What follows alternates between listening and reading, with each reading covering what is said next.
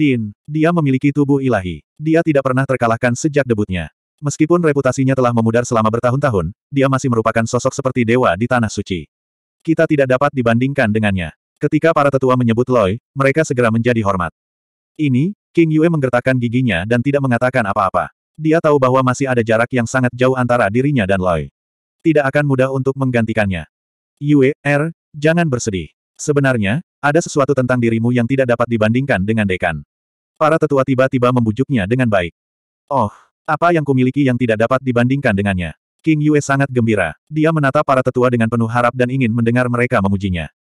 Temperamen dekan terlalu kaku. Dia jelas seorang wanita, tetapi dia sama sekali tidak terlihat seperti wanita. Bagaimana dia bisa dibandingkan denganmu? Tubuhmu yang menawan hanyalah seorang wanita di antara wanita. Kau telah memberi kami kesenangan yang tak terbatas. Para tetua kemudian mulai memujinya dengan tatapan mesum. Huff, mungkinkah di matamu, aku hanyalah binatang peliharaan yang bisa kau mainkan? Blumun hampir marah setengah mati sebelum akhirnya merasa senang. Dia adalah wanita jalang yang tidak tahu malu. Dia bisa melakukan hal semacam ini, tetapi dia tidak bisa menerimanya ketika orang lain mengatakannya. Yue, Er, ini salah paham. Kami sangat mencintaimu. Para tetua buru-buru membujuknya. Huff, aku tidak bisa merasakan cintamu. King Yue memutar matanya. Dia tampak tidak puas. Itu merupakan pukulan baginya. Yue, Er, meskipun kita tidak bisa melakukannya di sana, kita masih punya mulut. Cinta kita meluap. Cukup bagimu untuk merasakannya. Seorang tetua maha tinggi dengan tidak sabar membelah kedua buah dada yang lembut itu dan memasukkan kepalanya ke dalamnya, mencicipinya dengan penuh nafsu. Apa? Ih, nakal banget sih kamu, Blumun yang diserang itu terlihat menikmati momen itu dengan ekspresi mabuk. Yue, Er, nikmatilah. Kami akan memastikan kamu puas. 300 tetua berbaris satu demi satu dan fokus melayani King Yue, membuatnya sangat bahagia. Sambil bersenang-senang, King Yue menatap para lelaki tua itu dengan linglung. Dia tidak bisa menahan rasa kecewa. Aku wanita di antara wanita, tetapi kalian bukan petarung di antara para lelaki. Mengapa begitu sulit menemukan lelaki yang benar-benar kuat akhir-akhir ini? Di perbendaharaan Kian Kun, Tian Zi telah kembali. Dia berjalan langsung ke gudang pil. His, aroma obat yang harum tercium di seluruh gudang pil. Sumber daya dan cadangan Institut Ilahi telah terkumpul di sini selama bertahun-tahun, dan segala macam pil berharga ada di sini. Di aula tinggi itu, ada sembilan lemari besar. Lemari-lemari ini diisi dengan berbagai macam pil obat. Semakin tinggi lemari-lemari itu, semakin berharga dan ajaib pil-pil itu. Pil Qian Kun. Tianzi menatap bagian atas lemari. Tidak diragukan lagi, dia sangat tersentuh. Tianzi secara alami sangat ahli dalam seni alkimia. Meskipun ia berada di alam Qian Kun, Tianzi masih jauh dari kata mencapai puncak. Oleh karena itu, ia ingin terus meningkatkan alamnya. Tubuh Tianzi melayang di udara. Dia datang ke pot pil Qian Kun dan mengambilnya tanpa ragu-ragu. Dia mengambil pil dan menelannya. Tubuhnya bersinar, tetapi yang membuat Tianzi menjadi gila adalah terobosan yang diharapkannya tidak terjadi sama sekali. Pil Qiankun hanya memungkinkannya untuk mengisi kembali kekuatan fisiknya. Itu hampir tidak berpengaruh padanya. Apa, siapa yang membuat pil sampah ini? Beraninya dia menaruhnya di posisi tertinggi. Ini keterlaluan. Tianzi mengumpat berulang kali. Dia tidak diragukan lagi sangat tidak puas. Dengan jumlah gen 400 juta, fondasi Tianzi tidak terbatas. Jika Tianzi ingin meningkatkannya, itu pasti bukan sesuatu yang dapat dilakukan dengan mudah.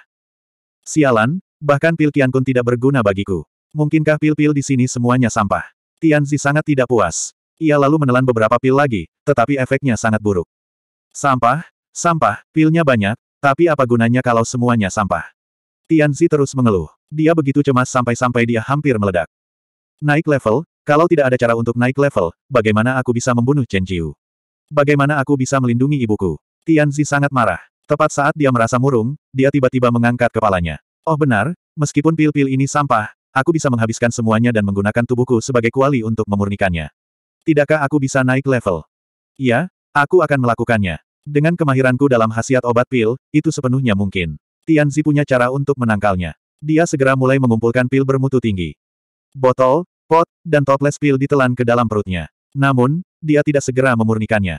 Dia mengumpulkan pil-pil ini dan akhirnya menyelinap keluar dari perbendaharaan. Ketika dia kembali, dia mendengar erangan King Yue yang mengharukan. Tianzi bahkan lebih marah. Dia mengambil keputusan dan mulai memurnikan ribuan pil. Boom, ki obatnya terlalu luas. Setelah memurnikan semuanya, seolah-olah alam semesta telah meledak. Semua ki obat bercampur menjadi satu dan mengalir ke anggota tubuh dan tulangnya. Menyaring, Tianzi berteriak. Dia tidak meledak dan mati. Dia menyerap pil dan memurnikannya. Ribuan pil itu dipelihara di dalam tubuhnya, dan potensi serta kekuatannya mulai bangkit kembali. Gemuruh, pada saat ini, sesuatu yang mengejutkan terjadi di tanah suci Qiankun. Dekan Institut Ilahi akhirnya bergerak. Dia tidak memberikan muka apa pun kepada Institut Ilahi Qiankun. Dia secara pribadi memimpin pasukan sejuta orang untuk membunuh Chen Jiu. Pasukan yang berjumlah satu juta orang itu hampir merupakan seluruh kekuatan Institut Dewa. Kali ini, Institut Dewa telah mengerahkan seluruh kekuatan mereka hanya untuk memusnahkan Chen Jiu dan para iblis lainnya. Operasi berskala besar seperti itu belum pernah terlihat di tanah dewa sebelumnya. Pertempuran ini tentu saja menarik perhatian seluruh benua. Siapa pun yang mampu ingin datang dan melihat apa yang sedang terjadi. Selamat datang, Dekan. Akhir hidup Chen Jiu telah tiba. Di pinggiran Gunung Sembilan Teratai, Wang Fa tidak diragukan lagi adalah yang paling bahagia.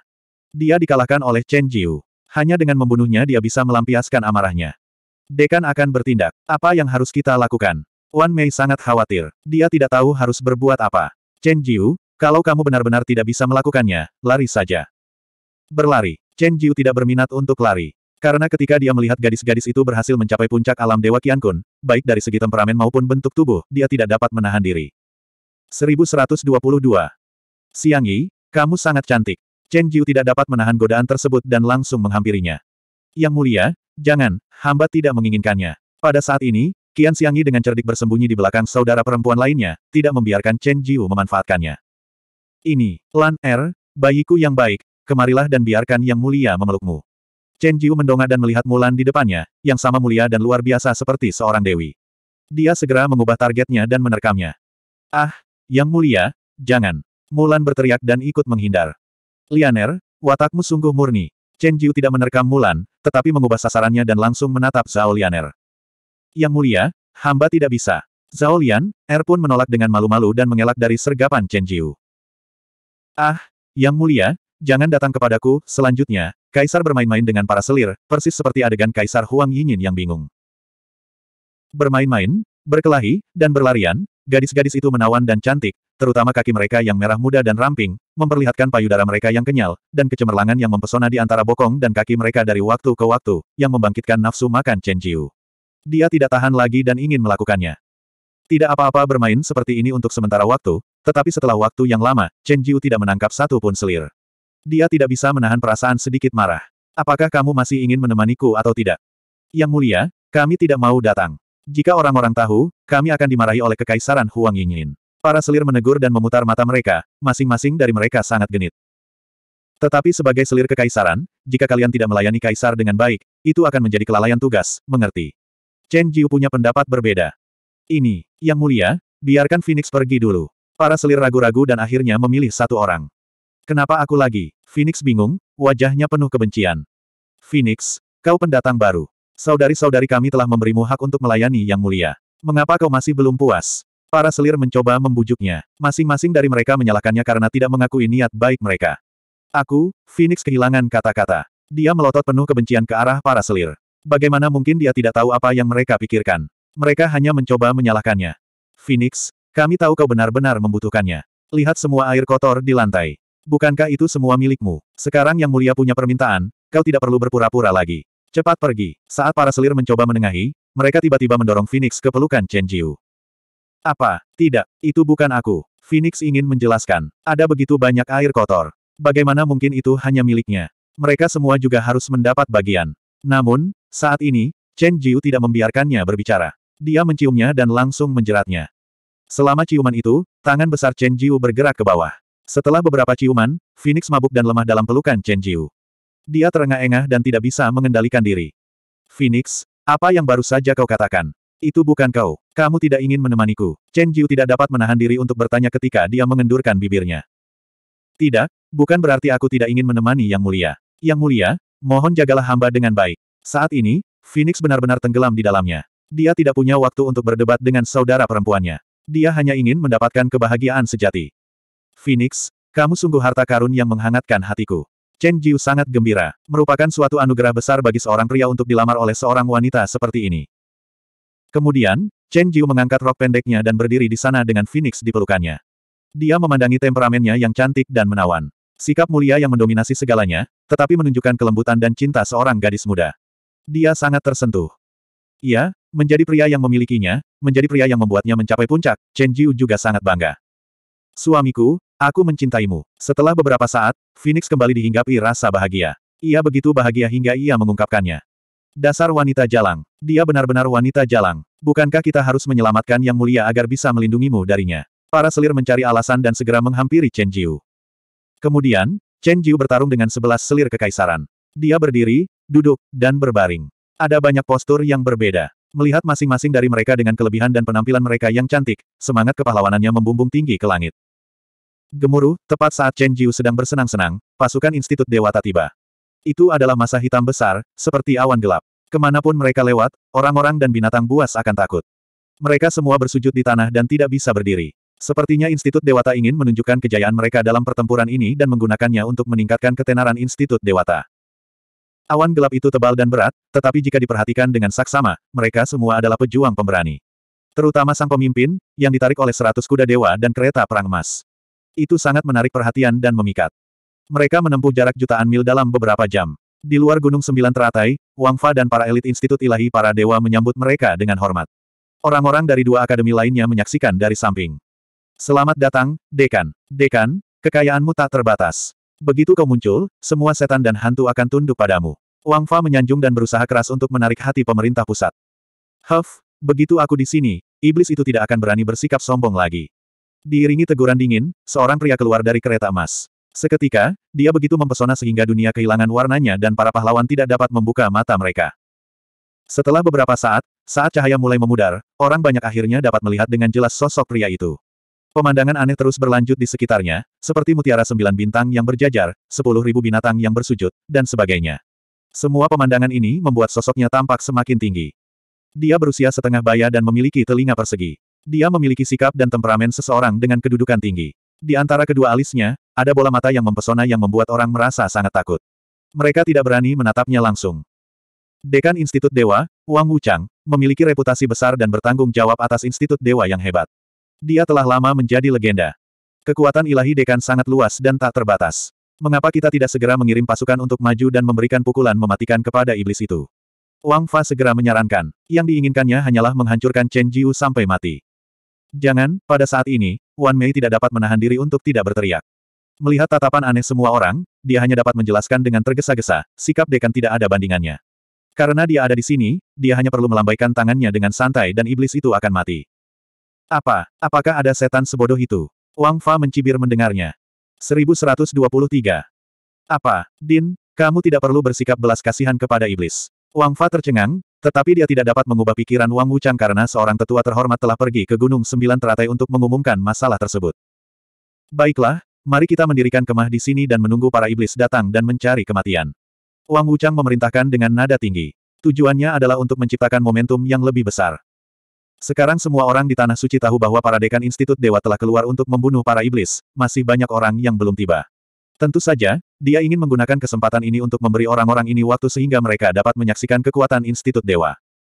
Jika dia membunuh semua iblis begitu dia tiba, bagaimana semua orang bisa tahu betapa kuatnya dia jika mereka tidak bisa melihatnya? Sempoa kecil Zhang Wuchang berdenting keras di dalam hatinya. Begitu saja, pasukan besar yang terdiri dari satu juta orang mendirikan kemah di luar gunung sembilan teratai dan berhadapan dengan para iblis. Chen Jiu, iblis, kepala sekolah Institut Dewata telah tiba secara pribadi. Cepat keluar dan terima hukumanmu. Jika tidak, hukumanmu akan berlipat ganda, sebuah suara agung bergema di seluruh pegunungan sembilan teratai, sangat meningkatkan prestise dan kedudukan Institut Dewata, menyebabkan banyak orang mengaguminya. Huff, Institut Ilahi ingin menggunakan kesempatan ini untuk meningkatkan reputasi mereka, tetapi bukankah itu terlalu arogan? Jika mereka mengacau kali ini, reputasi mereka akan terpukul hebat. Sangguan Ziruo melengkungkan bibirnya dengan getir, tidak optimis karena Chen Jiu memberinya perasaan misterius. Wang Wuchang sudah lama terkenal, perbuatannya sudah melegenda di Tanah Suci. Chen Jiu kecil mungkin punya beberapa keterampilan, tapi bagaimana mungkin dia bisa menandinginya? Dia pasti mati kali ini. Hardedev setuju. Chen Jiu, jangan datang. Malam itu, saat Wan Mei tengah berdoa dalam hati dan mengkhawatirkan Chen Jiu, sosok Chen Jiu tiba-tiba muncul lagi di tendanya. Ah, Chen Jiu, beraninya kau datang ke sini. Kau tidak hanya membunuh setengah dari pasukan kita, kedua pasukan kita bagaikan api dan air, dan dekan kita saat ini menjaga kamu utama, namun kau masih datang ke sini untuk mencariku. Kau ingin mati. Setelah melihat Chen Jiu, Wan Mei sangat cemas, melotot padanya dengan kebencian dan cinta. Mei, Er, bukankah dekanmu mengirimku ke sini untuk mati? Bukankah lebih baik aku mati di sini? Chen Jiu tertawa acuh tak acuh. Kamu, apakah kamu benar-benar ingin mati? Chen Jiu, cepat bawa anak buahmu dan lari. Kau bisa menyelamatkan nyawamu jika kembali ke institut ilahimu. Wan Mei mendesak dengan cemas. Tidak perlu terburu-buru, tidak perlu terburu-buru. Meyer, aku bersedia datang ke sini untuk mati. Apakah kau tidak akan membunuhku? Chen Jiu tersenyum. Apa maksudmu dengan datang ke sini untuk mati? Bagaimana mungkin aku bisa membunuhmu? Wan Mei melotot padanya, dan dia tidak bisa mengerti. Mei, Er, lihat di sini. Kau tidak ingin membunuhku. Chen Jiu memberi isyarat agar Wan Mei menunduk. Wajahnya langsung memerah karena malu. Chen Jiu, kenapa kamu masih memikirkan hal itu di saat seperti ini? Jangan bertindak gegabah, oke. Okay. Wan Mei cemberut genit, dan dia sangat marah dan malu. Karena apa yang ditunjukkan Chen Jiu padanya secara mengejutkan adalah benda yang luar biasa kuat, benda yang bisa membuatnya mabuk. Setiap kali melihatnya, jantung Wan Mei berdebar kencang, dan dia tak kuasa menahan diri untuk tidak terdiam karenanya. Mei, Er, aku membutuhkanmu. Chen Jiu bergerak mendekati Wan Mei dan berkata dengan wajah penuh kasih sayang. Apa yang kamu butuhkan? Jangan bicara omong kosong. Aku tidak peduli padamu. Wan Mei tidak bisa menahan diri untuk tidak meraihnya dengan tangannya yang seperti batu giok, dan wajahnya penuh dengan cinta. Mei, Er, kalau bukan kamu yang peduli padaku, siapa lagi? Kata Chen Jiu dengan nada memelas.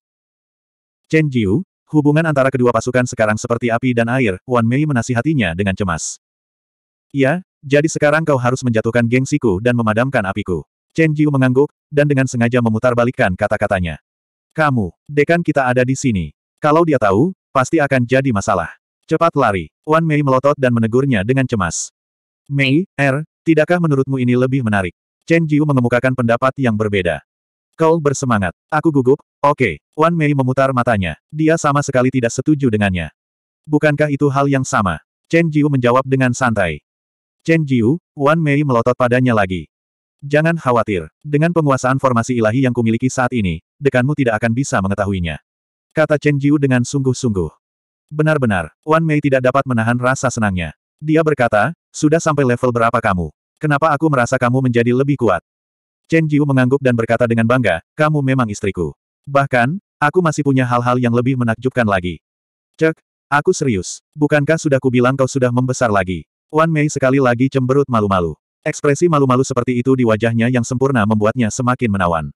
Wan Mei, lihatlah. Apa ini? Chen Jiu mengangguk dan tidak terburu-buru. Wan Mei melambaikan tangannya. Tiba-tiba, dunia suci muncul di tenda kecil itu. Dunia itu berkilauan dengan cahaya kemasan. Di dunia ini, Para malaikat bernyanyi, dan rahmat Tuhan menyebar. Sungguh ajaib. Apa, apakah ini dunia mistis yang legendaris? Wan Mei tercengang. Matanya yang indah berkilat tak percaya. Iya, dunia mistis ini adalah segel langit dan bumi. Segel langit dan bumi ini hanya dapat dipadatkan ketika seseorang mencapai alam mistis yang lebih tinggi.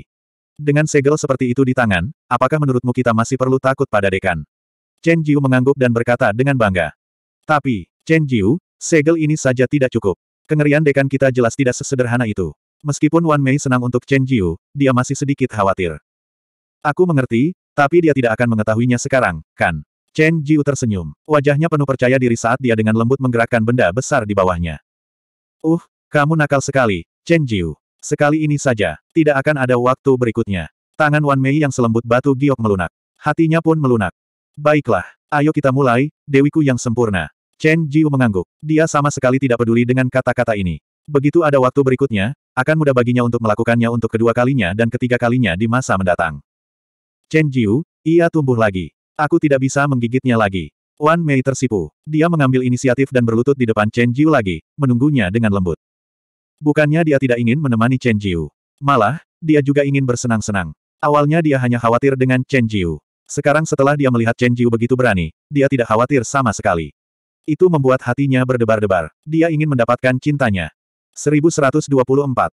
Tapi, Chen Jiu, tidak cukup hanya dengan segel ini saja. Kengerian dekan kita pasti lebih dari itu. Wan Mei senang untuk Chen Jiu, tetapi dia masih khawatir. Aku mengerti, tetapi dia tidak akan menemukannya sekarang, kan? Chen Jiu tersenyum dengan percaya diri di wajahnya. Eh, kamu benar-benar jahat, Chen Jiu. Ini hanya sekali. Ini bukan contoh. Pikiran Wan Mei tidak bisa menahan diri untuk mengendur. Begitu, Mari kita mulai, Dewiku yang sempurna. Chen Jiu mengangguk. Dia sama sekali tidak peduli dengan kata-kata seperti itu. Sekali, sekali lagi, dan lagi dan lagi di masa depan, itu mudah saja. Tidak hanya pria yang tidak dapat mengendalikan kecantikan yang tiada taraf, tetapi di hadapan pria yang sangat kuat, wanita tidak dapat menahan hati mereka yang tergerak dan bersedia melayani mereka dengan cara apa pun. Saat ini, suasana hati Wan Mei seperti ini. Segel rune yang ditunjukkan oleh Chen Jiu sangat kuat, yang membuat Wan Mei merasa bahwa celah di antara mereka semakin besar. Jika dia ingin mempersempit jarak dan sejajar dengannya, tidak diragukan lagi dia harus memiliki kontak terdekat. Di mata wanita, pria yang kuat adalah pahlawan. Bagi para pahlawan, wanita sangat mudah tersentuh. Cinta, rela menyerah kepada mereka dan mengabdikan semua kecantikan mereka kepada sang pahlawan. Dengi yang sempurna itu indah, anggun, anggun, dan penuh. Fitur wajahnya yang putih, berkilau, dan transparan secara mengesankan memberi orang perasaan yang sempurna. Aura Zong Tiandi telah menangkap ciptaan alam semesta. Tubuhnya indah dan tanpa sadar meluapkan Senhua. Selain itu, fitur wajahnya, kecantikannya yang istimewa, seperti mahakarya alam, yang menakjubkan. Ini adalah wanita yang dekat dengan sihir. Kecantikannya tidak milik dunia. Tampaknya hanya para dewa yang dapat menciptakan wanita secantik itu. Itu sangat mengagumkan. Bahkan jika seorang pria biasa melihatnya, dia akan menganggapnya sebagai dewi dan tidak melahirkan jejak penghujatan. Sisi, sayang sekali kecantikan seperti dewi seperti itu berlutut di depan Chen Jiu, berusaha sekuat tenaga dan sangat perhatian. Bagaimanapun juga, wanita adalah wanita. Tidak peduli seberapa kuat dan cantiknya wanita, mereka juga membutuhkan pria untuk memerintah. Chen Jiu secara alami sangat bangga menjadi pria ini. Merasakan keunggulan Wan Mei, dia segera tidak dapat menahan diri untuk tidak menandainya dengan jejaknya sendiri dan menyatakan kedaulatannya lagi. Dia hanya bisa menjadi miliknya, dan orang lain tidak dapat menyentuhnya. Baiklah, suamiku, kamu hebat. Wan Mei tersenyum puas di wajahnya. Mayor, kamu puas bahwa suamimu tidak benar-benar memulai perang? Tanya Chen Jiu. Baiklah, hatiku hangat. Mayer puas bahwa dia bisa mendapatkan warisan suaminya. Wan Mei mengangguk, tampak malu-malu dan puas, yang membuat Chen Jiu sangat senang. Meskipun pria sangat kuat dan bertarung di medan perang, sebenarnya, bagian hati mereka yang paling rentan adalah mereka takut wanita meremehkan mereka dan paling khawatir tidak dapat memuaskan istri mereka. Istri yang mudah dipuaskan tidak diragukan lagi merupakan afirmasi paling setia dari seorang pria. Begitu mereka mendapatkan afirmasi ini, mereka tidak akan kendur, tetapi mereka akan lebih berani. Mayor, kamu puas di atas, tetapi aku khawatir kamu tidak puas di bawah. Jangan khawatir, suamiku memiliki kemampuan untuk membuatmu benar-benar puas. Chen Jiu sangat gembira dan siap untuk bertarung lagi. Suamiku, tolong kasihanilah orang lain. Wan Mei mengangguk malu-malu dan membiarkan Jun Si melakukannya. Haha, Chen Jiu tertawa. Selanjutnya, dia seperti seorang jenderal, berlari kencang dengan bebas, seolah-olah dia akan menunggangi kuda harta karun dan bertarung di seluruh alam semesta. Suamiku, apakah kamu benar-benar akan baik-baik saja? Setelah beberapa saat, Wan Mei bertanya dengan khawatir lagi. Jangan khawatir, aku punya kemampuan untuk menghadapi semua ini. Lagi pula, aku akan segera mencuri sebuah pernikahan. Jika aku tidak memiliki kemampuan ini, bagaimana mungkin aku bisa? Chen Jiu menghibur Wan Mei dan meyakinkannya. Terima kasih, suamiku. Mayer akan selalu menjadi milikmu. Mayer benar-benar tidak tahu bagaimana membalasmu. Wan Mei tampak bersyukur dan terharu. Dia sangat toleran. Layani aku dengan baik, itu adalah hadiah terbesar bagiku. Chen Jiu memberi Wan Mei kesempatan untuk berkata, laki-laki perlu berjuang untuk kekuatan langit dan bumi. Mayor, kamu hanya perlu menjadi istriku dan melayaniku dengan baik. Jika kamu melayaniku dengan baik, kamu akan memiliki jasa dan kebajikan yang tak terbatas. Suamiku, kamu sudah mati. Apa pendapatmu tentang orang lain? Mereka bukan pelacur yang secara khusus menemanimu di Yinluan. Wan Mei berkata dengan marah. Mayor, apakah kamu tidak senang melayani suamimu? Chen Jiu bertanya lagi dengan segera. Suamiku, orang-orang harus memberikan kontribusi untukmu seperti selir-selirmu yang lain. Wan Mei mengemukakan pikirannya sendiri. Mereka, Chen Jiu tiba-tiba khawatir. Jangan khawatir, orang tidak iri. Mereka sangat baik, dan hanya suaminya yang layak mendapatkannya. Wan Mei meredakan kekhawatiran Chen Jiu. Mayor, kamu sangat baik padaku. Terima kasih telah memahamiku. Chen Jiu akhirnya menghela napas lega. Suami itu, apakah kamu setuju atau tidak setuju dengan ide orang lain? Wan Mei berkata dengan marah lagi. Itu tergantung pada apakah kamu dapat melayani suamimu. Jika kamu tidak melakukannya dengan baik dalam melayani suamimu, kamu tidak memenuhi syarat untuk keluar berperang. Chen Jiu sangat bangga dengan kentutnya. Suamiku, bukankah cukup baik bagi orang lain untuk melayanimu hari ini? Kamu telah mengembangkan tiga tempat penting orang lain, apakah kamu tidak puas? Wan Mei genit dan malu-malu. Tentu saja puas. Chen Jiu mengangguk dan berkata dengan murah hati, jangan khawatir. Ketika perang berakhir, aku akan meningkatkan kultivasimu dan membuatmu mencapai puncak bumi dewa dan menyinari dunia. Suamiku, kamu sangat baik. Wan Mei bertemu dengan Chen Jiu dan samar-samar tahu bahwa dia memiliki beberapa kemampuan khusus. Dia tidak meragukannya. Dia segera berterima kasih dan melayaninya dengan baik. Oh, Mayor, kamu benar-benar semakin pandai melayani orang. Aku sangat nyaman. Chen Jiuda membelai kepala cantik Wan Mei dengan tangannya, yang sangat berguna. Melihat pakaian Chen Jiu yang nyaman, hati Wan Mei tidak hanya tidak bermaksud untuk disakiti, tetapi juga merasa bahwa dia dapat membuat Chen Jiu merasa nyaman. Dia sangat bangga. Mendengarkan kata-kata Chen Jiu, dia bekerja lebih keras. Wanita, Pada kenyataannya, terkadang, juga perlu diakui. Ketika Chen Jiu mengenalinya, dia secara alami akan lebih termotivasi. Mayor, apakah kamu di dalam? Aku Wang Fa. Bolehkah aku masuk? Suara Wang Fa tiba-tiba terdengar ketika Wan Mei berterima kasih atas kesetiaannya. Baiklah, Wan Mei, yang pintar, tercengang. 1125. Wan Mei sangat bersenang-senang sehingga dia merasa seperti berada di surga. Dia hampir lupa bahwa dia masih berada di kampnya sendiri. Jika dia ketahuan bermain-main dengan seorang pria, bagaimana dia bisa keluar dan bertemu orang? Hubungan antara kedua belah pihak bagaikan api dan air. Chen Jiu bahkan dijuluki iblis yang tak tertandingi oleh pihaknya sendiri. Sekarang, dia benar-benar melayani iblis ini dengan setia. Jika Institut Dewa mengetahui hal ini, reputasinya sebagai dewi yang sempurna mungkin akan langsung hancur. Dia akan langsung menjadi pelacur tak tahu malu yang dikutuk semua orang. Uh, Wan Mei sangat terkejut, dia sangat gugup, dan tidak tahu harus berkata apa. Mei, Er, katakan hal besar itu sebelum kau bicara. Chen Jiu mengingatkannya dengan ramah. Hah, Wan Mei menjawab dengan malu-malu. Baru kemudian dia menyadari bahwa dia masih menggigit benda besar itu, jadi dia tidak bisa berbicara.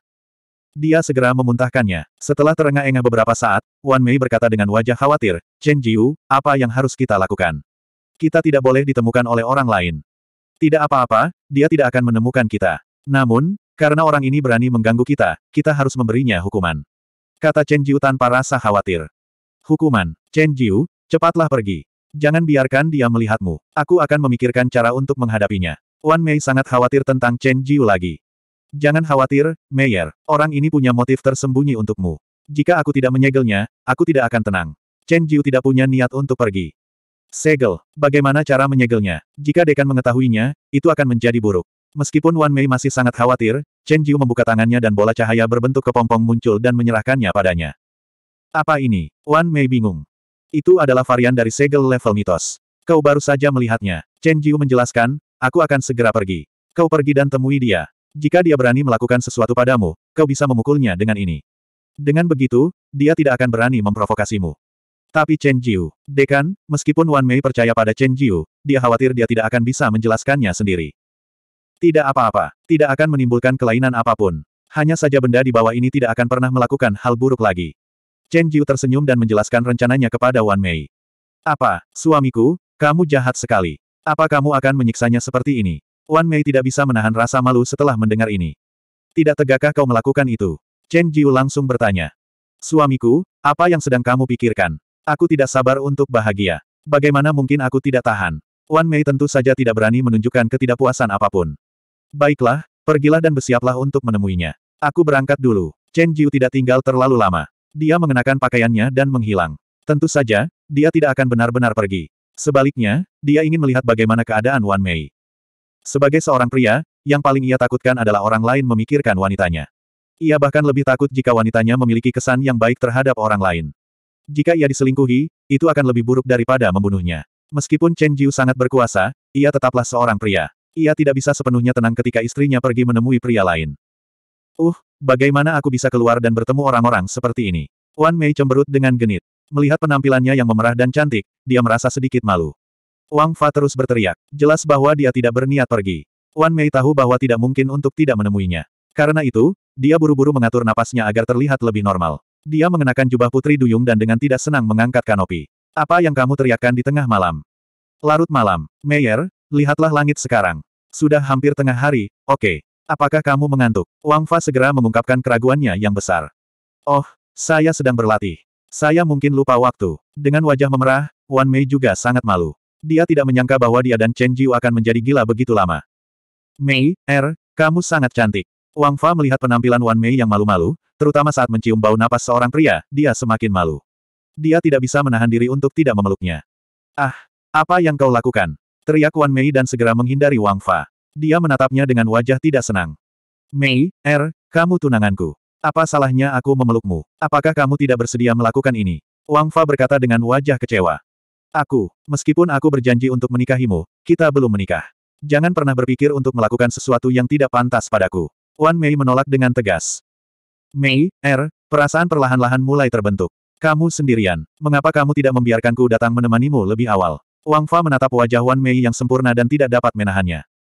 Bajingan Wang Fa, kau pikir aku ini apa? Apakah kau pikir aku ini salah satu wanita murahan yang biasa kau ajak bermain? Wan Mei begitu marah hingga ia tak bisa menahan diri untuk tidak memarahi. Mei, Er, sejak aku berjanji padamu, aku tidak pernah menyentuh pria atau wanita lain.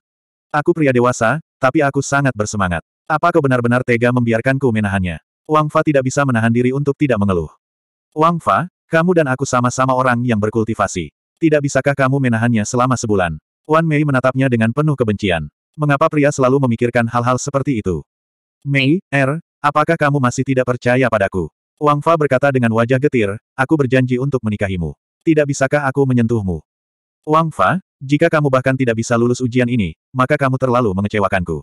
Wan Mei sangat tidak senang. Dia tidak punya sedikit pun niat untuk melepaskannya.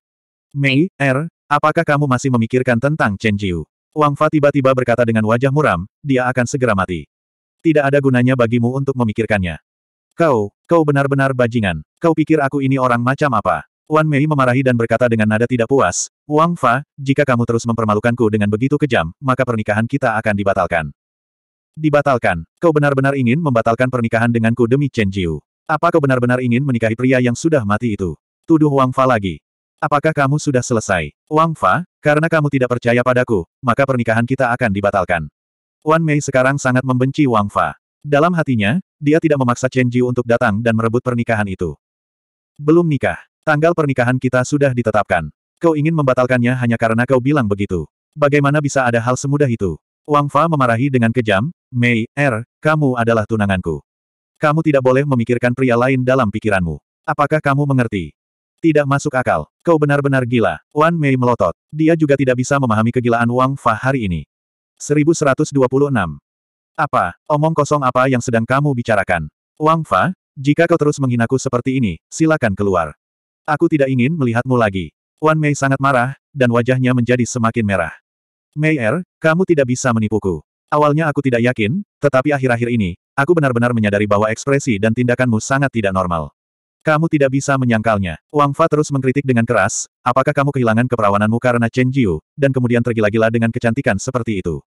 Jadi ketika kamu tidak punya kegiatan, kamu sering menghibur diri sendiri, kan?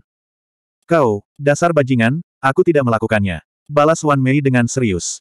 Bukankah kamu? Apakah kau pikir ekspresimu dapat menipuku? Aku, Wang Fa, telah mengendalikan banyak pria dan wanita. Bagaimana mungkin aku tidak tahu ekspresi seperti apa yang mereka miliki saat mereka sedang jatuh cinta?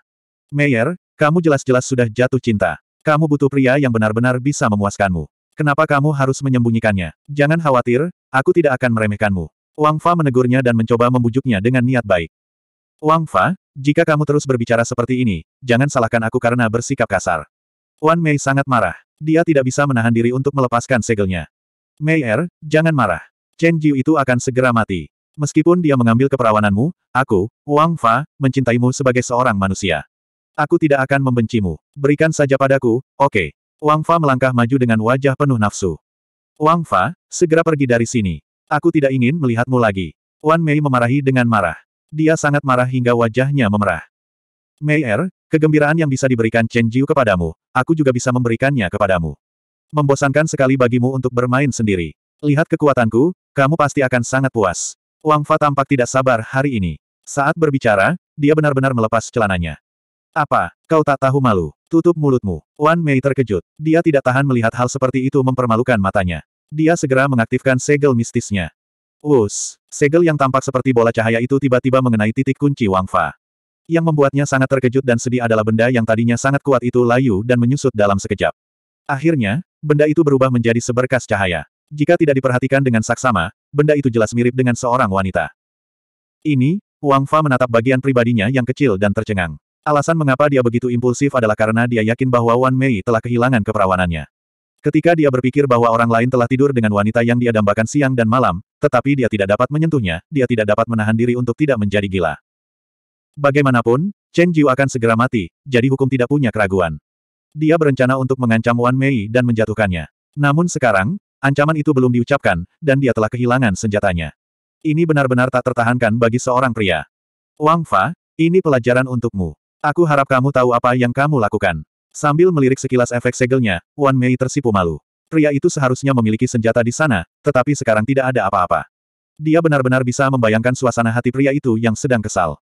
Aku, Meyer, aku salah. Aku mohon, tolong maafkan aku. Bebaskan aku. Wang Fa sangat marah hingga ingin memuntahkan darah. Dia mencoba, tetapi dia sama sekali tidak berdaya melawan segel ini. Dia tidak bisa menahan diri untuk memohon belas kasihan tanpa daya. Lepaskan segelnya. Mari kita tunggu sampai hari pernikahan kita. Sambil tersenyum, wajah Wan Mei penuh percaya diri dan kesombongan. Dia tidak diragukan lagi sangat senang bisa membuat Dharma Raja menderita seperti ini. Apa, aku harus menunggu begitu lama? Apakah kamu masih akan menikah denganku? Wang Fa benar-benar tidak tahu harus berkata apa saat ini. Apakah itu kejutan? Atau apakah itu dirugikan? Apa, jangan bilang kau tidak menyukaiku. Wan Mei melotot padanya, secara tidak langsung mengakui rasa malunya. Tidak, tidak, mengapa aku harus membencimu? Wang Fa tersenyum, tetapi dalam hatinya, dia berpikir, kamu wanita yang sangat baik. Tidak peduli berapa banyak orang yang telah tidur denganmu, aku tidak akan membencimu. Awalnya, dia akan menggunakan kepolosan Wan Mei untuk mengancamnya, tetapi sekarang setelah dia melihat bahwa Wan Mei benar-benar akan menikahinya, Wang Fa tidak dapat menahan napas lega. Dia tidak ingin hubungan mereka menjadi sangat tegang, jadi dia menahan amarahnya. Kau tersenyum begitu rendah. Kalian para lelaki benar-benar jahat. Wan Mei mengerutkan bibirnya dan memarahi. Saat ini, dia tidak lagi mengkhawatirkan Wang Fa. Cepat pakai celanamu. Tidak ada apa-apa di sana. Apa kamu tidak merasa malu jika orang lain melihatnya? Ah, ya, ya, Wang Fa menggerutu dan segera mengenakan celananya karena malu. Bersikaplah sopan dan duduklah dengan benar. Mari kita bahas pernikahan kita. Ini harus dilakukan dengan cara yang megah. Bagaimana menurutmu? Wan Mei sepenuhnya mengambil inisiatif dan mulai berdiskusi dengan Wang Fa. Meskipun dia mengatakan sedang berdiskusi, situasi saat ini adalah Wang Fa harus menyetujui apa pun yang diinginkannya. Dia telah sepenuhnya kehilangan kendali atas hidupnya, karena kebahagiaannya sekarang sepenuhnya berada di tangan Wan Mei. Tidak buruk, tidak buruk. Performanya sangat bagus. Chen Jiu yang diam-diam menganggukkan kepalanya, memberikan pujian yang luar biasa kepada Wan Mei. Memiliki istri seperti itu adalah kebanggaan seorang pria. Dia tidak tinggal lama, baru kemudian dia merasa lega dan kembali. Dengan segel peringkat legenda, Wang Fa tidak dapat melakukan hal buruk apa pun. Semakin banyak ahli bersembunyi di Gunung Sembilan Teratai. Legiun Darah Naga di Cincin Sembilan Naga telah berkembang dengan sempurna. Mereka ditempatkan di gunung ini, menjaga wilayah itu setiap saat dan bersiap untuk mempertahankan martabatnya. Yang mulia, ke mana Anda pergi tadi malam? Mengapa saya tidak melihat bayangan Anda? Begitu dia kembali, kedua belas selir kekaisaran datang dan bertanya. Oh, tengah malam, aku pergi mengintai situasi musuh. Chen Jiu tentu saja tidak akan memberitahu mereka apa yang telah dilakukannya. Apakah kamu memperoleh sesuatu? Para selir kekaisaran sekali lagi merasa khawatir. Tentu saja ada keuntungan. Para kakek tua dari Institut Dewata itu ingin menggunakanku untuk membuat nama bagi diri mereka sendiri. Itulah sebabnya mereka belum bergerak. Ini memberi kita kesempatan. Kita dapat memanfaatkan kesempatan ini untuk membuka perbendaharaan dewa dan meningkatkan kekuatan kita. Chen Jiu berbicara tentang rencananya dengan penuh semangat. Oh, apakah kamu tidak takut mereka akan tiba-tiba menyerang? Bukankah kita akan berada dalam bahaya tanpa seorang pemimpin? Tanya para selir kekaisaran dengan khawatir. Jangan khawatir, ini hanya tipuan kecil. Tidak akan sulit untuk menunda bajingan tua itu. Chen Jiu sangat yakin. Yang mulia, rencana cemerlang apa yang Anda miliki? Tanya para selir kekaisaran sekali lagi. Zhang Xinran, Soumo, kalian anak muda, kemarilah. Chen Jiu tidak menjelaskan dan langsung memberi perintah. 1127. Kalian keluar diam-diam, tangkap beberapa orang terkenal, minta mereka untuk mengajukan permintaan, dan minta dekan para dewa untuk menunggu mereka datang sebelum kalian menyingkirkan iblis. Chen Jiu segera memerintahkan. Apakah para kepala berbagai kuil akan mendengarkan mereka? Para selir kekaisaran menyatakan keraguan. Jika kalian ingin mencapai prestise yang tak terbatas, kalian tidak dapat mengabaikan para pahlawan lokal ini. Pergi dan ingatlah untuk melakukannya secara diam-diam. Chen Jiu melambaikan tangan dengan percaya diri. Iya, Zhang Xinran memerintahkan mereka untuk turun satu demi satu, menyelinap keluar dari Gunung Jiulian dan menciptakan momentum opini publik yang kuat di Tanah Suci, sehingga Zhang Wuchang harus memberikan sedikit muka. Raja Pingan, Markis Abadi dan Jiu Tian meninggalkan Tuan. Selain keempat kuil, ada juga Jianghu kecil di antara mereka. Mereka tidak diragukan lagi lebih dekat dengan orang-orang dan dapat berbicara dengan baik di antara orang-orang. Oleh karena itu, mereka mengusulkan untuk datang beberapa hari kemudian. Meskipun Zhang Wuchang dapat diabaikan begitu saja, tetapi bawah tanah tidak begitu ingin menyerang Gunung Jiulian. Untuk sementara waktu, Chen Jiu memimpin 12 kaisar dan selir kekaisaran dan mulai memasuki pavilion langit dan bumi untuk menjelajahi harta karun ilahi. Di ruang para dewa di kuil langit dan bumi, putra surga memurnikan ribuan obat dan ki untuk menyehatkan dirinya sendiri. Dalam ledakan rasa sakit, gennya melonjak. Dia bahkan menembus 500 juta gen dalam satu gerakan, yang membuatnya sangat bahagia dan bersemangat. Haha, 500 juta gen, Chen Jiu, tunggu aku. Cepat atau lambat, putra surgaku akan menginjakmu di bawah kakinya dan memelintirmu sampai mati. Putra surga Chang. Ketika dia cepat, telinganya bergerak dan dia tidak bisa menahan kebencian, apakah mereka belum selesai? Bagaimana mereka bisa memulai ibu mereka? Itu belum selesai. Aku menyalahkan ibuku karena begitu terobsesi dengan orang-orang. Aku tidak bisa menahannya. Bagaimana orang-orang tua itu bisa menanggungnya? Ketika Kaisar mengutuk, dia tidak bisa menahannya untuk melihatnya dengan rasa ingin tahu. Berpakaian rapi, saat ini, lebih dari 300 tetua dan King Yue tidak lagi begitu terpuruk. Mereka tidak tahu malu. Mereka berpakaian rapi dan menerima beberapa orang. Ayo, Jiu Yang Allah, Raja Thailand, ini adalah Dewi King Yue. Anda pasti tidak mengenalnya. 300 tetua memuji King Yue seperti bintang dan bulan, mendorongnya ke Jiu Yang Allah dan keempat tetua mereka. Oh, Dewi Bulan Hijau benar-benar berbeda dan cantik. Melihat kewanitaan bulan hijau, mereka juga kagum dengan Jiu Yang Allah. Ini adalah wanita tercantik yang pernah kulihat dalam hidupku. Raja Tai bahkan lebih gila di matanya. Beberapa tetua, aku menyalahkan King Yue untuk saat ini. Itu karena King Yue tidak membiarkanmu tinggal di sana untuk melenyapkan iblis, jika kau punya keluhan, sampaikan saja pada Yuir. Kata King Yue sambil meminta maaf pada lelaki tua keempat. Ada apa? Kedua tetua agung lainnya sangat bingung tentang hal itu. Namun, setelah penjelasan Jiu Yang Allah, mereka juga terkejut. Mereka tidak menyangka bahwa wanita sekecil itu bisa memiliki begitu banyak energi untuk mengendalikan pikiran dekan. Beberapa tetua, aku tahu kalian memiliki keluhan di hati kalian, tetapi apakah kalian masih menyalahkan Yuer? King Yue terus memohon kepatuhan dengan menyedihkan. Hei, semuanya sudah berakhir. Lupakan saja, bagaimana kami bisa menyalahkanmu karena menjadi seorang wanita. Desah, dan Jiu Yang Allah tidak peduli tentang itu. Tetua, sebenarnya, bahkan jika kalian menyalahkan Yuer, itu tidak masalah. Yuer bersedia mengganti rugi atas kesalahan yang telah ditimbulkannya kepadamu. King Yue segera melemparkan pandangan ambigu. Eh, bagaimana kalian akan mengganti rugi untuk ini? Sembilan yang Allah menatap mereka dengan heran, dan jantung mereka berdetak lebih cepat. Jika kalian para tetua tidak membenci Yuer, Yuer bersedia melayani kalian dan membiarkan kalian melampiaskan keluhan kalian tanpa mengeluh atau menyesal. King Yue berkata dengan wajah pintar. Apa, ini, ini tidak membuatmu menganggap kami sebagai manusia. Kami bukan pria yang suka main-main dengan wanita. Dewa Jiu Yang mengejutkan mereka. Meskipun hati mereka dipenuhi kegembiraan, mereka tetap menahan rasa malu mereka. Tidak bisakah kalian para tetua melihat bulan? Dewa bulan hijau memutar matanya dengan menyedihkan, dan orang-orang merasa kasihan lagi. Ini, jari telunjuk mereka bergerak. Mereka ingin segera berjanji, tetapi mereka malu untuk menjawab ketika banyak tetua hadir. Kalau tidak, bukankah mereka akan menertawakan mereka? Baiklah, Dewa Sembilan Yang, kalian tidak perlu memiliki beban psikologis apa pun. Sejujurnya, Dewi Bulan Hijau sangat bijaksana. Kami mengolahnya dengan hati-hati. Bahkan, dia bersedia melayani kami tanpa keluhan dan penyesalan. Ini adalah situasi yang saling menguntungkan. Bisakah kalian mengerti? 300 tetua tidak bisa menahan diri untuk tidak menjelaskan sambil tersenyum. Pria dapat memahami senyum ini sekilas. Dewa, maksudmu, kamu dan dia telah. Dewa Jiu Yang menatap. Tidak terbayangkan bahwa wanita secantik itu dipermainkan dan dibuat oleh 300 orang dari mereka, karena itu terlalu binatang. Itu lahir. UR adalah yang terbaik di antara wanita. Ketika Anda benar-benar menikmatinya, Anda akan menemukan bahwa Anda tidak ingin meninggalkannya. Sejujurnya, kami mengundang Anda untuk datang ke sini hanya untuk memperkenalkan UR kepada Anda. Jika Anda tidak setuju, tidak apa-apa, tetapi jangan salahkan kami karena tidak mengingatkan Anda bahwa sudah terlambat untuk menyesali kehilangan kesempatan ini di masa depan. Banyak orang tua yang terlalu malas untuk berbicara omong kosong. Setuju, kami sangat setuju. Jiu Yang Allah, yang hampir tidak berdiskusi, menganggukkan kepalanya satu demi satu. Keindahan yang tak tertandingi dikirim kepadanya dan bersedia berkorban. Ini hanya untuk pria. Bagaimana mereka bisa tidak setuju? Penatua Jiu Yang, terima kasih telah menghormati Yuer. Yuer adalah milikmu hari ini. King Yue Jiao merasa malu dan ingin menyambutnya kembali. Dia menolak dan menabrak pelukan Jiu Yang Allah. Penampilan putri kecilnya yang mengharukan dan emosional membuat orang-orang ingin menjadi gila. Yuer, Dewiku, apakah kamu benar-benar milikku? Jiu Yang Allah menundukkan kepalanya, mencium aroma mie dan siang, dan melihat keindahan yang mengharukan itu, yang membuatnya merasa seperti mimpi. Jiu Yang Allah telah berlatih sepanjang hidupnya. Meskipun dia memiliki beberapa perasaan, wanita cantik seperti King Yue tidak pernah menikmatinya.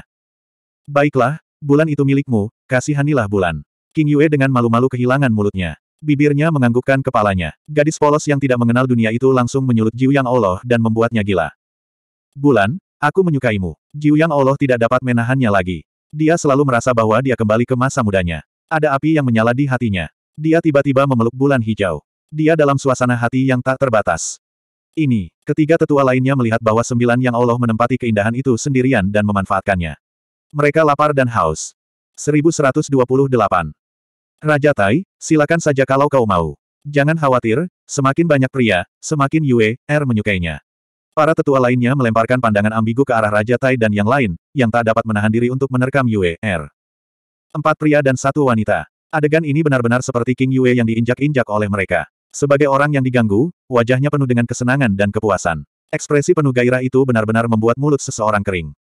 Setelah kekacauan seperti itu, semua pakaian King Yue dilepas.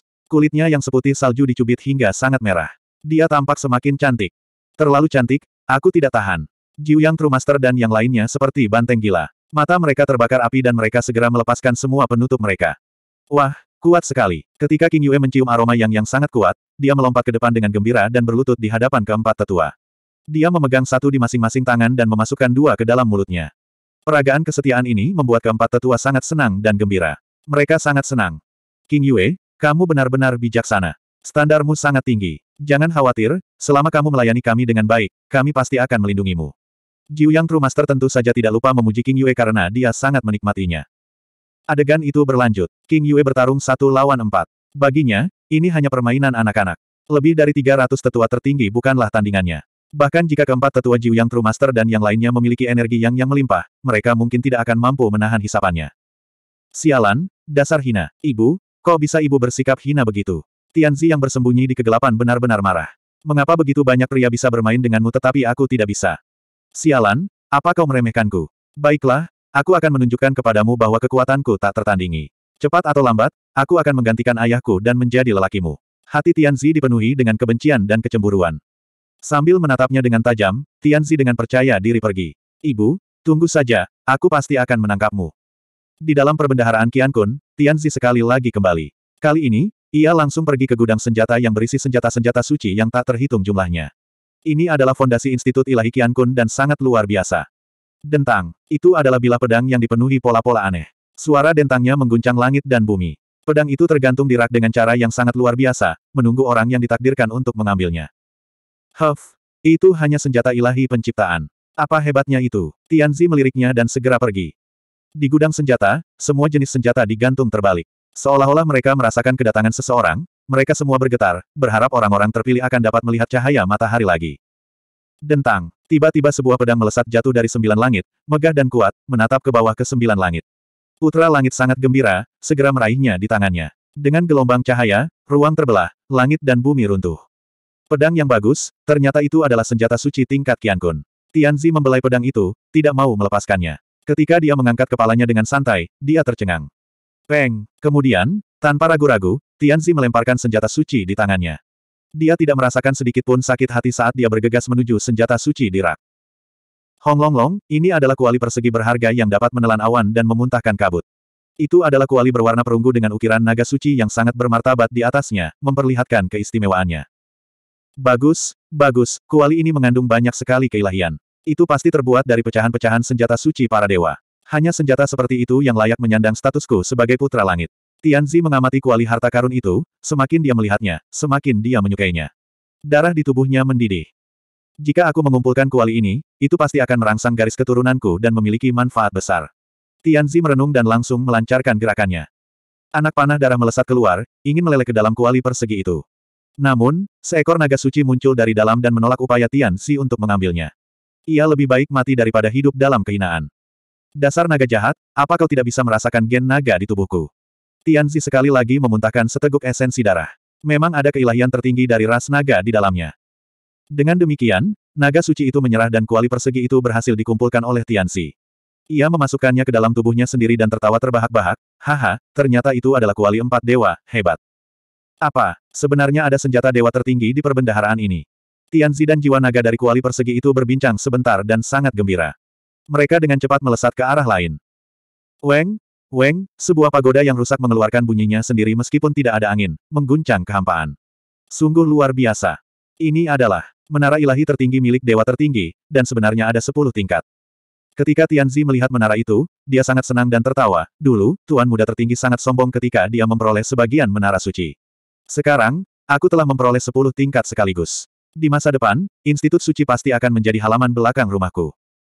Huff, Chen Jiu, sebaiknya kau tidak mati kali ini. Aku akan menunjukkan kepadamu seberapa kuatnya aku dan bagaimana aku akan mengambil wanita-wanitamu dan mempermainkan mereka dengan bebas. Aku akan membuat mereka bahagia sampai mereka mati. Tianzi tertawa terbahak-bahak dan menjadi semakin bangga. Mengumpulkan, Tianzi sekali lagi melancarkan gerakannya, menggunakan esensi darahnya sendiri sebagai pengorbanan. Setelah menghabiskan banyak usaha, ia akhirnya memperoleh 10 bagian menara dewa. Uh, 10 jenis teknik ilahi, hebat, hebat, tetapi sekarang bukan saatnya untuk berkultivasi. Lebih penting untuk terus mengumpulkan harta ilahi lainnya. Tianzi tidak terburu-buru dan terus mengumpulkan harta ilahi lainnya. Begitu Tianzi diberi waktu, pertumbuhannya yang cepat sudah tidak dapat dihindari. Di masa depan, Chen Jiu harus tumbuh secepat mungkin untuk menghadapinya. Paviliun Langit dan Bumi di Gunung Sembilan Teratai. Ini adalah kediaman dewa yang luas, relatif lengkap, dan kuno. Itu adalah kediaman dewa yang telah diwariskan dari era kejayaan para dewa. Bersama 12 selir kekaisaran, Chen Jiu dan yang lainnya berjalan masuk dengan perasaan hormat yang tak dapat dijelaskan, bersiap untuk mencari harta karun yang mungkin tersembunyi di dalamnya. Paviliun langit dan bumi tidak sepenuhnya tidak berdaya. Ketika Chen Jiu dan yang lainnya melangkah masuk, seluruh istana langit bersinar dengan cahaya ilahi kuno. Sebuah penghalang cahaya tembus pandang menutupi istana langit, mencegahnya dari gangguan. Huff, Segel kuno ingin menghentikanku.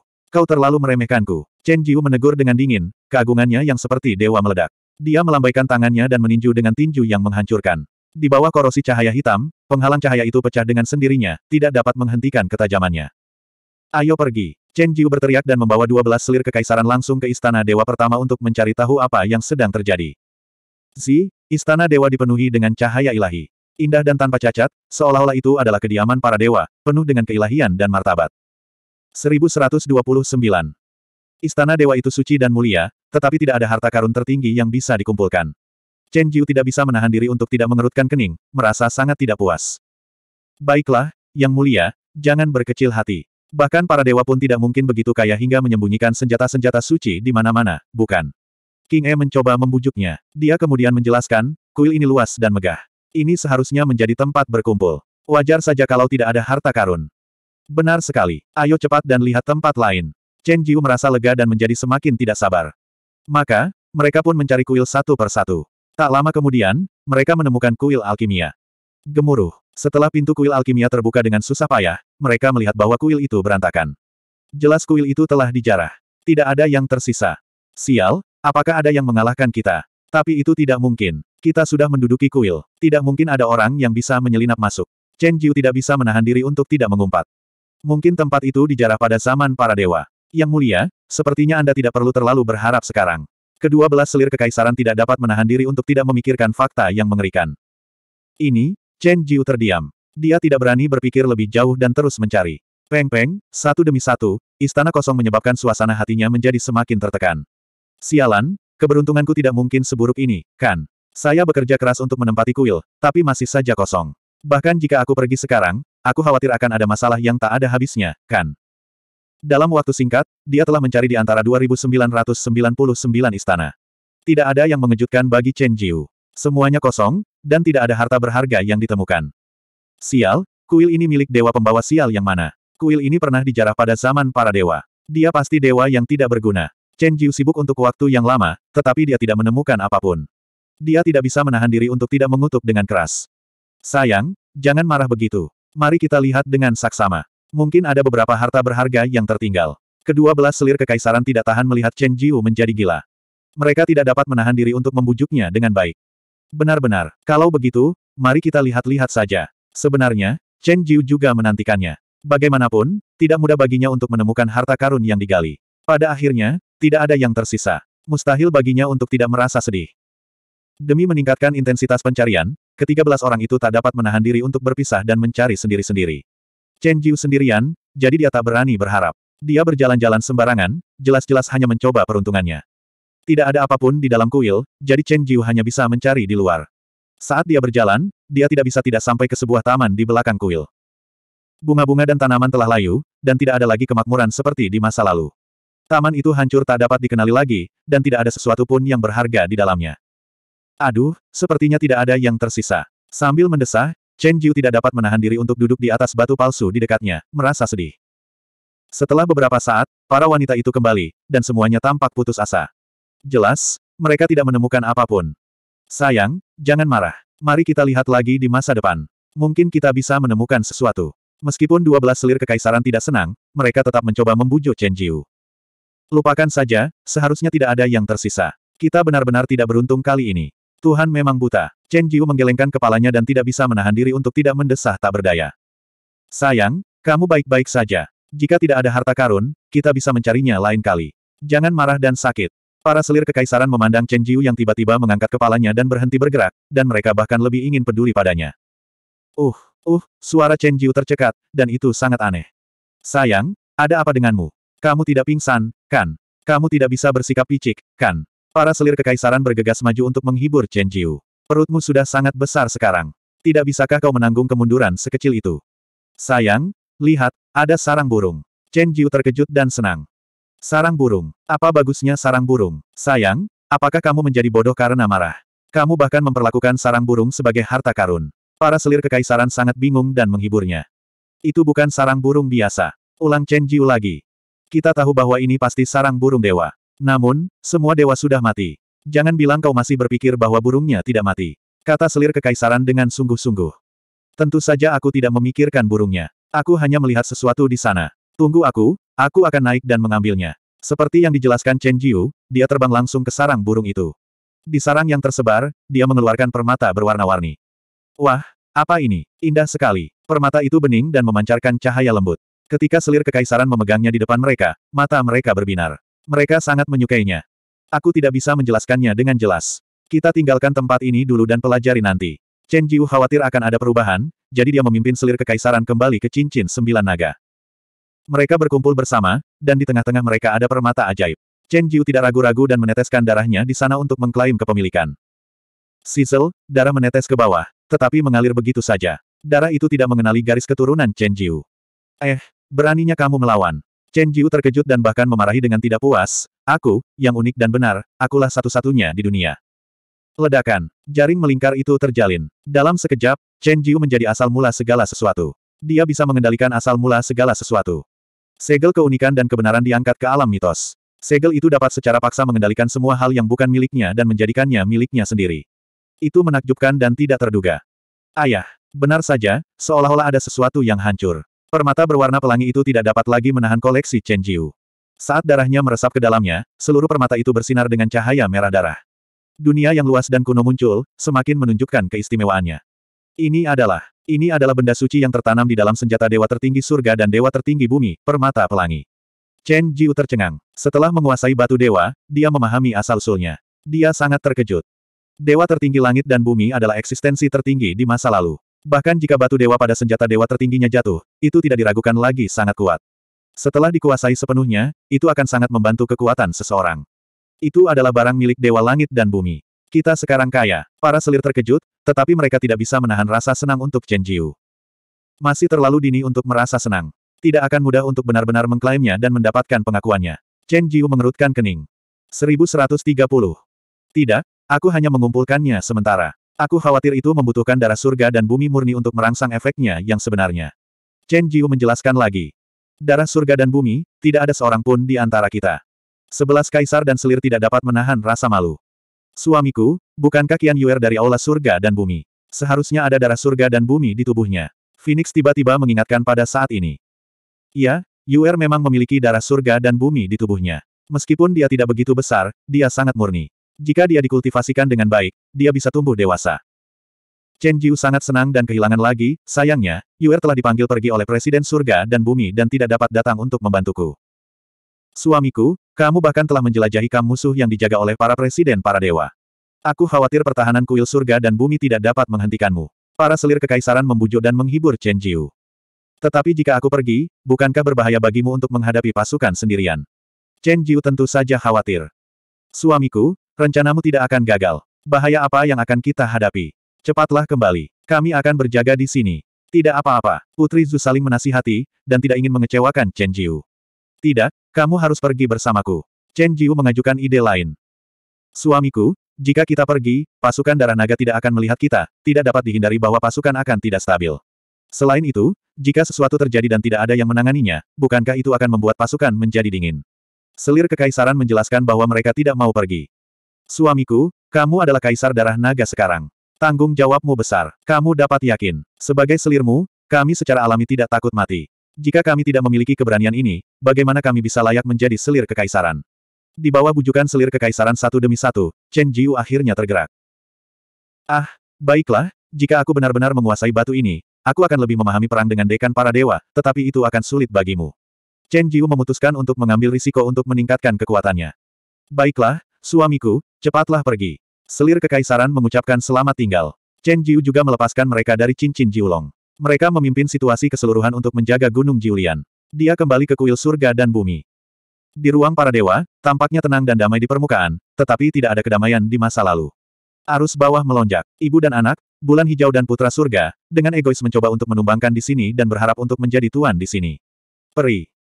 Lima elemen, dengan bulan tertutup dan bunga-bunga malu-malu, cantik, mulia dan suci. Mereka berlatih tanpa bertanya tentang dunia dan menyerap keilahian dari lima elemen manik-manik Tuhan. Mereka sama sekali tidak tahu tentang kekacauan di sini. Adik seperguruan, adik seperguruan. Teriakan menyebalkan terdengar lagi, yang langsung membangunkan kondisi kultivasi kelima peri dan membuat mereka sering mengerutkan kening. Mengapa Li Yuan sialan ini datang lagi? Abaikan saja dia, dia sama sekali tidak punya hati yang baik. Kelima peri itu sangat marah dan tidak ingin berbicara dengan Li Yuangen lagi karena mereka ditipu oleh tubuh palsu itu terakhir kali. Adik seperguruan, itu hal yang buruk. Bangunlah dengan cepat. Jika kau tidak bangun lagi, Chen Jiu akan mati.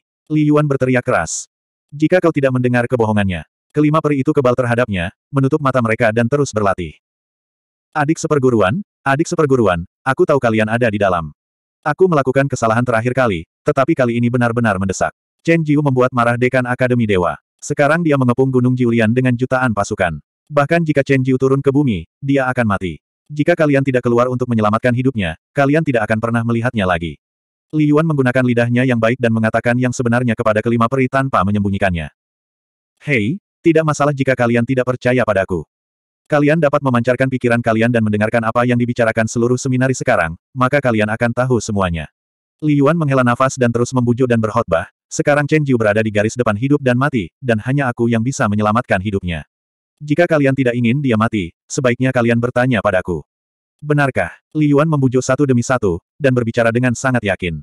Kelima peri harus percaya bahwa mereka memancarkan pikiran ilahi mereka. Benar saja, mereka mendengar pembicaraan itu seperti penggorengan di kuil. Chen Jiu menduduki Gunung Jiulian dan menjadi iblis. Dia membuat marah Presiden Kuil dan Dewa dan memintanya untuk memimpin pasukan secara pribadi untuk berperang. Tidak ada yang optimis tentang nasibnya. Baiklah, Chen Jiu dalam bahaya. Apa yang harus kita lakukan? Saudari Yan, bisakah kita mengabaikannya dan membiarkannya terbunuh? Qian Yuer segera menjadi sangat khawatir. Jangan khawatir, saya tidak berpikir Li Yuan datang untuk memberitahu kita berita itu. Dia jelas tidak memiliki hati yang baik. Apakah Anda benar-benar ingin memohon padanya? Zhao Yan membujuk semua orang untuk menenangkan pikiran mereka. Tapi Chen Jiu dalam bahaya, bagaimana kita bisa duduk diam dan mengabaikannya? Meng Meng cemas dan tidak bisa tenang. Saudari Yan, saya pikir kita bergegas dan bertarung dengan Chen Jiu secara langsung. Mari kita hidup dan mati bersama. Meng Meng mengajukan ide yang relatif sederhana. Sebagai upaya terakhir, jangan menempatkan diri kita dalam bahaya dan membiarkan Chen Jiu khawatir. Zhao Yan menggelengkan kepalanya dan berkata, saya pikir sebaiknya kita bertanya kepada Presiden, tuan-tuan seperti Presiden para dewa hanya memiliki wajahnya. Bagaimana dengan Li Yuan? Kita benar-benar tidak bertanya padanya apa yang bisa dia lakukan. Lailak bertanya lagi. Abaikan saja dia. Pria ini tidak punya niat baik dari awal sampai akhir. Dia hanya ingin mempermainkan kita. Kita tidak memberinya kesempatan untuk membuatnya berkomplot ribuan kali dan tidak membiarkannya melakukan apa pun. Zhao Yan dengan sungguh-sungguh memerintahkan semua wanita untuk tidak menghubunginya di ruang penjelasan. Hem, para wanita mengangguk, tentu saja menyetujui saran Zhao Yan. Pintu aula, Zia, terbuka lebar. Di bawah tatapan mata Li Yuan yang penuh harap, kelima peri itu sangat cantik, tinggi, dan rupawan. Pada saat yang sama, dia penuh dengan mata dan diam-diam bangga, tetapi kelima peri yang keluar dari debu mengabaikannya dan langsung terbang ke satu sisi, yang membuatnya gila dalam sekejap. Apa, bahkan tidak melihatku, mengabaikan keberadaanku. Tidakkah kau pikir aku ini udara? Li Yuan marah. Itu adalah kutukan. Wanita jalang, kau benar-benar wanita jalang. Aku sudah cukup baik hati untuk memberitahumu berita ini. Kau bahkan tidak berterima kasih padaku. Kau berani membenciku. Ini benar-benar tidak bisa ditoleransi. Ham, kau tunggu saja. Ketika Chen Jiwi mati, aku akan benar-benar bermain. Menyingkirkanmu dan membiarkanmu berbalik dan memohon belas kasihan di bawahku. Li Yuan menatap punggung kelima peri itu dengan wajah garang.